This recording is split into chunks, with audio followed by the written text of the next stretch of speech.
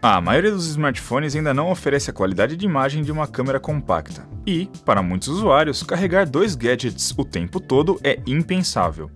Por isso o Galaxy S4 Zoom ataca as duas frentes, faz ótimas imagens e também ligações. A forma mais fácil de descrever esse gadget é dizer que ele é uma câmera digital com o smartphone S4 Mini embutido. Como celular, traz uma configuração eficaz para rodar o Android Jelly Bean, uma tela de qualidade de 4,3 polegadas, processador dual-core e 8 GB de armazenamento. Como câmera, tem um sensor de 16 megapixels para registrar vídeos em Full HD e ótimas imagens. Na lente óptica, o zoom de 10 vezes é controlado por um anel giratório ao redor da lente. Claramente inspirado nas câmeras DSLR, o sistema não é dos mais eficientes, no entanto principal motivo é o design.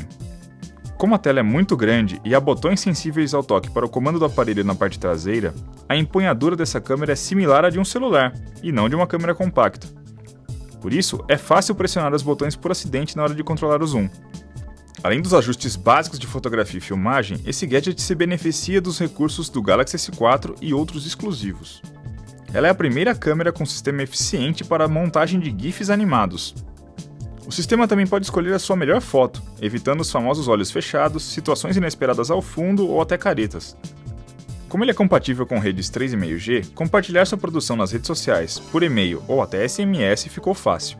Também é GPS, Bluetooth e Wi-Fi. Todos esses recursos desse celular câmera deixaram o S4 Zoom pesado e desconfortável para o transporte em um bolso de calça. A bateria do aparelho resistiu por 15 horas e 48 minutos fazendo uma ligação, com Wi-Fi e Bluetooth ativados.